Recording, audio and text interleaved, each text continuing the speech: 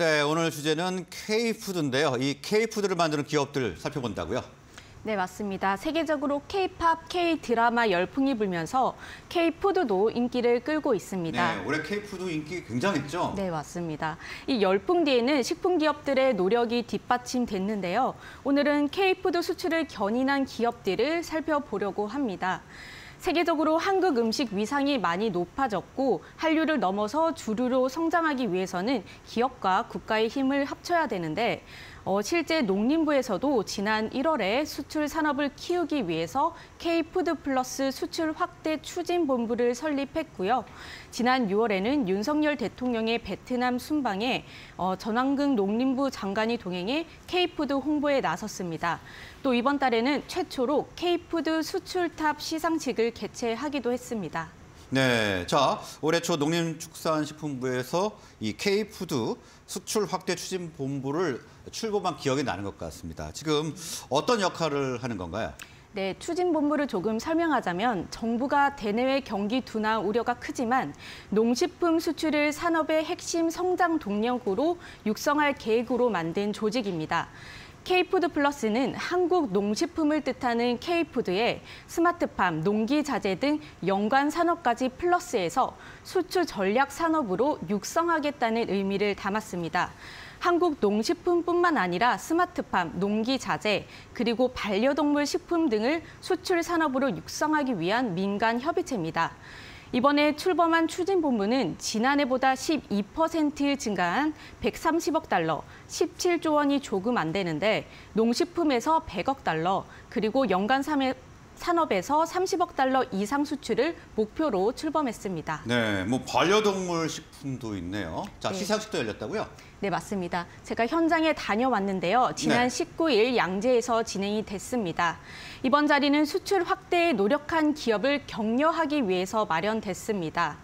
어, 앞서 농림부는 전년 대비 수출액이 높은 기업을 대상으로 시상 시상하겠다고 밝힌 바 있는데요. 이번 주에 시상식이 예정대로 진행이 됐고요. 총 50개 기업이 수상했습니다. 수출액에 따라서 수여하는 수출답과 수출 증가율이 높은 기업에 수여하는 도약상, 그리고 신규 시장 진출에 대한 기여도가 높은 기업에는 시장 개척상을, 그리고 스마트팜 분야 기업에는 스마트팜상이 주어졌습니다. 네, 자 올해 처음 열린 시상식이죠? 네, 맞습니다. 뭐 수상 기업들은요? 어, 대상은 총 네곳이 받았습니다. 삼양식품과 롯데 칠성음료, 하이트 진로, 그리고 대동입니다. 올해 1억 달러, 약 1,300억 원 이상의 수출액을 낸 대동 5억 달러를 기록을 했고요. 이어서 삼양식품이 4억 달러, 그리고 롯데 칠성음료와 하이트 진로가 각각 1억 달러를 기록했습니다. 농림부는 삼양식품은 매운맛 열풍을 일으키면서 라면 수출 역대 최고치를 견인을 했고 롯데칠성과 하이트진로는 각각 음료와 주류 수출 확대에 기여했다고 설명했습니다. 대동은 농기계 기업인데 국내 1위 기업입니다. 북미 시장으로 중소형 트랙터를 수출하는 확대하는 성과를 내면서 대상을 차지했습니다. 네, 지금 대상을 네 개 업체에 줬는데 네. 자 일단 어, 대동의 활약에 눈이 띄는 눈에 띄는 것 같습니다. 대동은 지금 농기계 전문 업체인데 북미 시장의 활황과 더불어 실적도 좋아지고 있고요. 네. 지금 저희 프로그램 다뤘는데 로봇 시장에도 진출을 하고 있더라고요. 어, 네, 맞습니다. 네, 어, 수출 실적이 아주 좋네요. 네. 대동은 현재 미국과 캐나다 그리고 유럽 중국 현지 법인과 독일 사무소를 두고 70개국의 자체 농기계 수출 브랜드 카이오티 제품을 판매하고 있습니다. 올해 3, 3분기 누적 매출의 약 68%가 해외 시장에서 나오고 있고요. 최근 활발한 계약 소식도 많이 들리고 있습니다. 지난 19일에는 티르키에서 3,500억 원 3,500억 원에 달하는 대규모 트랙터 공급 계약을 체결했습니다. 계약 규모는 지난해 매출의 24%에 해당하고요. 네. 이번 계약을 발판으로 중동과 아프리카 시장 공략에 박차를 가한다는 계획입니다. 그리고 어제는 포스코와 특수환경 수행 로봇에 대한 공급 계약을 체결했다는 소식이 전해지면서 주가가 많이 상승했습니다. 대동은 내년 7월까지 포스코와 리모컨 원격 조정 로봇을 현장 검증 목적으로 만들어서 제철소에 투입할 예정이고요. 작업장에서 발파에 떨어진 광석과 그리고 폐기물을 제거하면서 제철소 작업 환경에 대한 데이터도 수집 가능할 것으로 보입니다. 네, 자 대동에 대해서 알아봤고요. 어, 삼양식품도 수출을 많이 했습니다. 그런데 삼양식품 어, 최근에 불닭면으로 인기가 굉장히 좋았죠. 네, 그렇습니다. 삼양식품은 불닭 시리즈를 통해 서 세계적으로 매운맛 열풍을 일으켰습니다. 실제로 삼양식품의 올해 1분기에서 3분기 누적 수출은 5,876억 원으로 지난해 같은 기간 대비해서 30% 증가했습니다. 네. 어, 수출 초기 아시아 지역 위주로 구성됐던 진출국은 현재 미주와 중동, 유럽 등으로 확대가 됐고요. 현재 영업과 마케팅이 강화되면서 전 지역에서 매출이 고르게 늘어났습니다. 삼양식품은 수출 물량을 모두 국내에서 생산하고 있는데요. 급증하는 해외 수요에 대응하기 위해서는 어, 내년 1분기에 밀양 2공장 착공에 들어갈 예정이라고 합니다. 아, 뭐 계속 좋은 소식만 들리고 있네요. 자, 근데 라면 하면 농심도 빼놓을 수 없지 않습니까? 라면 업체 1위가 농심인데 네. 대상 기업에는 없는 것 같네요. 네, 신라면 인기도 대단합니다. 그런데 이번에 농심은 지능형 농장 수출 활성화에 기여했다는 평가를 받아서 스마트팜상을 수상했습니다. 네. 어, 농심은 차세대 농업 기술인 스마트팜을 미래 먹거리 사업으로 낙점했는데요. 올해 상반기에만 아랍에미리트와 사우디아라비아에 두 번의 수출 성과를 내면서 사업을 확대했습니다. 농심은 올해 초에 사우디아라비아 리야드에서 현지 유통기업인 그린하우스와 3천만 달러 규모의 스마트팜 수출 계약을 맺었습니다. 사우디아라비아에 한국 품종 딸기를 연중 생산할 수 있는 스마트팜을 설치하는 건데 그린하우스는 현재 사우디 전역에서 9개, 총 80헥타르 규모의 농장을 운영하면서 호텔과 레스토랑에 공급하고 있습니다. 두 나라는 리야드에 쇼케이스 팜을 구축하고 딸기 시범 생산에 들어갑니다. 내년 하반기부터는 리야드 인근에 최소 5개 상업용 딸기 스마트팜을 건설할 예정이고요. 이를 통해서 월 30톤 규모의 한국 딸기를 현지에 유통할 계획입니다. 네, 지금 농심과 스마트팜 상을 받은 기업이 또 있는데 어떤 기업인가요? 네, 스마트팜은 식품기업인 농심을 비롯해서 포미트, 우듬지팜, 플랜티팜 등 4개 기업에 돌아갔습니다. 주목하, 어, 주목할 만한 곳이 우듬지팜인데요. 지난 9월에 상장한 새내기 주로 국내 스테비아 토마토 점유율 1위를 차지하고 있는 기업입니다. 관련해서 현장에서 인터뷰도 하고 왔는데요. 먼저 영상으로 보고 오겠습니다. 네. 세계적인 경기 침체라고 그럴까요? 그래서 수출이 좀 어렵지 않습니까?